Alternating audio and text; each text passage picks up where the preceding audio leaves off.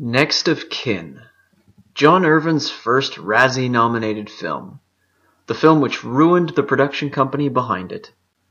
And it also features one of Ben Stiller's first performances on screen. Next of Kin is one of the most bizarre films I've ever seen. In the city of Chicago, a cop from the Appalachians has to find the mafia goon who killed his younger brother. Meanwhile, the third brother, who stayed in the Appalachians and is an all-out redneck, plans revenge of his own. Did I mention that the redneck is played by Liam Neeson? Yeah, it's trippy to hear that familiar voice take on a thick redneck accent, but that's just the start of it. It's actually mind-boggling to think of how much he resembles his ridiculous character in Taken, despite the fact that Next of Kin is almost 20 years older than Taken. It turns out that an ex-coal miner in the Appalachians is able to magically sense when bad guys are coming after him, as well as also magically decipher which specific group of bad guys may have killed his brother. He leaps from buildings onto moving trains, he uses an arsenal of guns that would make the NRA stand up and cheer, and even though he's only been to Chicago once, he seems to get around just as easily as if he's lived there all his life. The movie makes it quite clear that a redneck just in from out of town can go around fighting, waving guns, and acting out chase scenes with complete impunity. And then, of course, we have his interactions with Patrick Swayze's character, who is, of course, the protagonist. The relationship between the two brothers goes through all the cliches you can imagine with breakneck speed so that we can watch the hillbilly and the cop join forces against the mob. That sentence was exactly as silly as I expected it to be. This all goes back to my biggest problem with John Irvin as a filmmaker.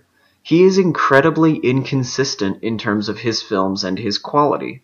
If you told me that the man who made Next of Kin also made Raw Deal, I would believe you in an instant.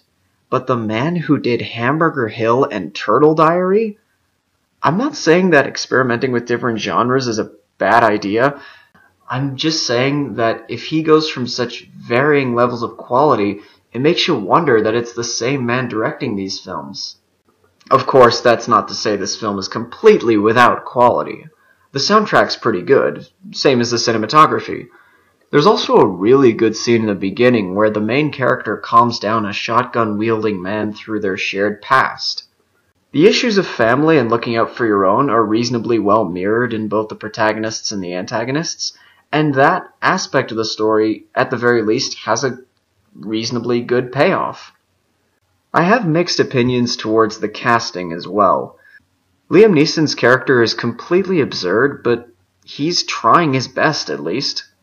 And while Patrick Swayze got nominated for Worst Actor that year, he at least had a few good moments here and there.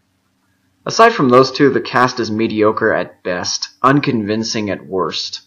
Bill Paxton is believable as a young and stupid hick. Helen Hunt is given the thankless role of the supporting spouse. Adam Baldwin and Ben Stiller try their best with very poorly written mafia gangsters. And Michael J. Pollard is completely wasted as a dim-witted landlord. Next of Kin isn't the worst film John Irvin's made, but it's definitely one of his weirdest. The uneven quality works against itself, and the movie builds up to what has got to be one of the most ridiculous conclusions to any film that I've ever seen.